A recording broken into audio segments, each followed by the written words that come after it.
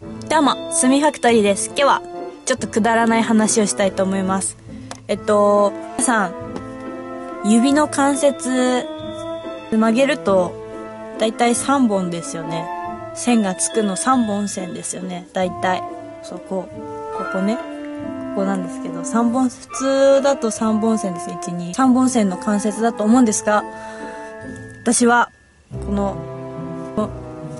関節ですね。この、1、2、3本線が1本多いです、なんと小。指が多いかっていうと、いいです。小指。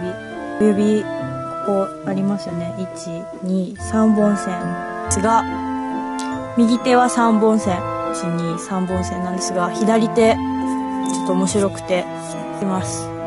まあ関節は、1、2、3、3なんですけど、よく見ると、線が、1、2、3、4本あるんです。いきます。ほら、本線。ね。1、2、3、4。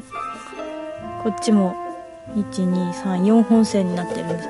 まあ、関節は3本ですよ。関節は1、2、3個なんですけど、もう本当にくだらない話。1、2、3本の関節しかないのに、線が、が1本多いんです。こっちの指はくっきり3本線。4本線。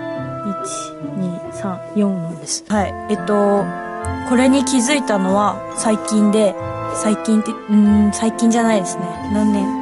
えっと、小学生の頃ですね。小学生の頃に、この4本線に気づいて、みんな見せてよって言って友達に見せてもらったら、私だけなんか1本だけ多くて、とってもびっくりして、一時期、この4本線での人になりました。学校で。はい。なんかちょっと不思議な感じの4本線なんですが。うん。はい。で、あともう一つ、もう一つあるんです。もう一つは、ちょっとくだらない。くだらなくないですね。えっ、ー、と、今日仕事中に G が出ました。G が出て。しかも結構でかい。